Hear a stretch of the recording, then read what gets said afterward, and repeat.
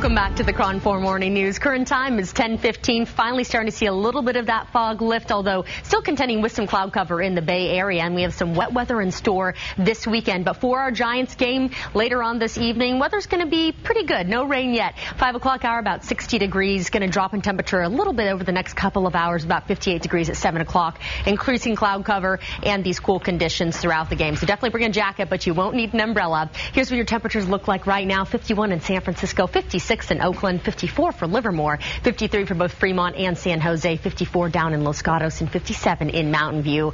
Fog tracker here showing that that fog has lifted a little bit and will continue to do so as we make our way into the lunchtime hour, lifting even more when we hit the 2 o'clock hour, though we will continue to see some low clouds along the coastline and in parts of San Francisco as well. Your highs for today are similar to what we saw yesterday, 75 for Santa Rosa, 69 for San Rafael, high of 63 in the city today and 65 for Richmond, so pretty seasonable temperatures temperatures.